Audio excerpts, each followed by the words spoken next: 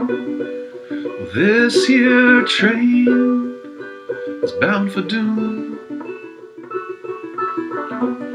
The tracks got laid down much too soon. Zoo is who are tie them off, even though we don't know where they'll go. This here engineer keeps piling on the coal. But we can't slow down, we could try to drag our feet. We'd best not bother, all we get is bloody knees.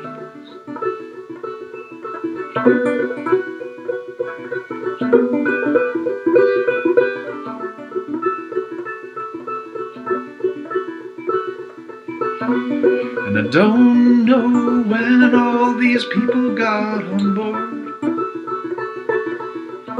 Cause it's all I've ever known. This is where I was born. And they sweat and sway and work and play and beg and beg and beg to feel more speed. And they'd rather slave for what they think they want than be free with what they need. They won't slow down, they wouldn't want to fall behind.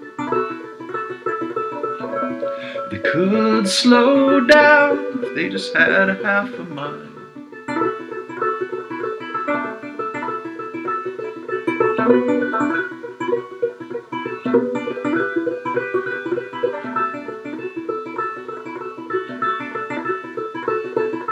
So I left my seat to hang with the hobos at the back. We stayed turned round see the disappearing track. We wish that we could just go back and we're trying to remember how it was. It's got us waiting in the train yard. He's the meanest bull there ever was. We can't jump off, we'd more than likely die. But if you see somewhere soft to live, then take my hand. I think it's worth a try.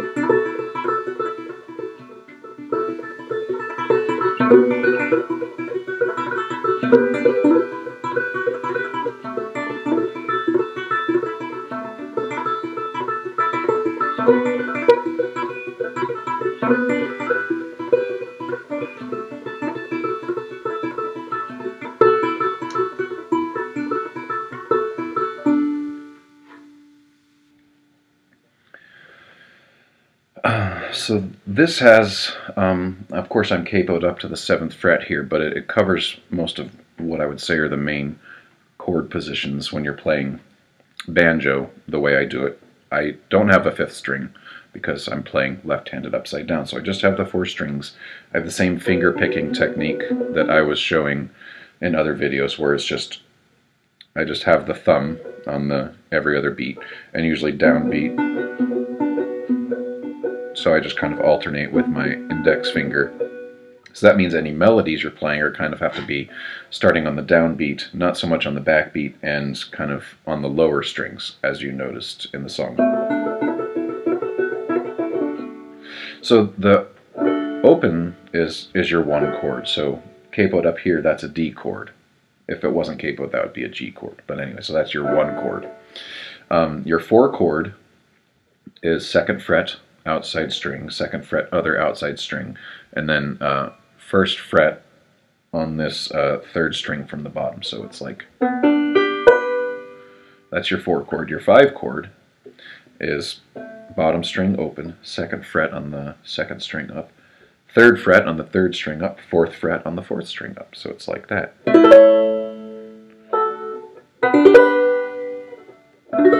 And then I was just decorating.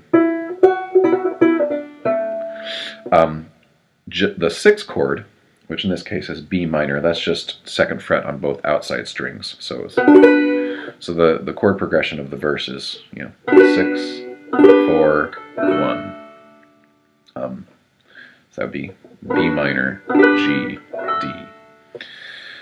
Um, there's some other chords too. You could do kind of like this thumb over for a two chord. So that's second fret, second fret, first fret, and then second fret. Or you can leave that top string open and make it suspended. Same thing with a three chord. So those are, so that's like your one chord, two chord, three chord, four chord, five chord, six chord. And then up here is kind of another. I just kind of do that. So I can do that descending eight, seven, six kind of thing.